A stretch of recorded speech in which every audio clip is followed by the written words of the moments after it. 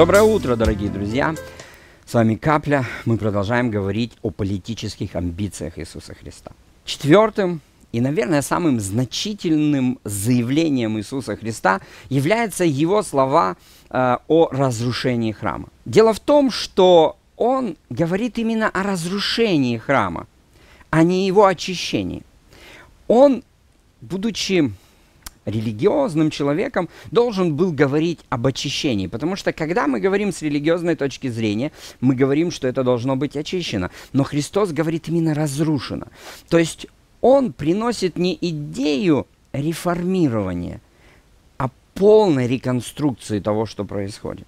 И это заявление Иисуса было правильно истолковано фарисеями и людьми, которые управляли тем обществом.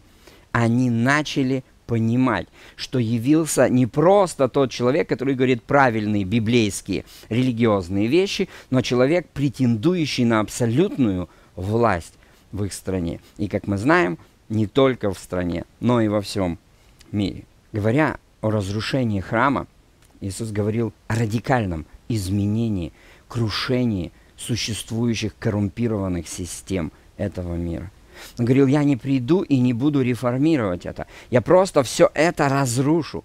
И когда мы с вами читаем книгу Откровений, мы постоянно видим о том, что Бог, Он разрушает то, что настроили люди. Он говорил, все человеческое, оно будет унижено и разрушено. Все, что можно поколебать и разрушить, будет поколеблено и разрушено. И на этом основании Господь воздвигает новое.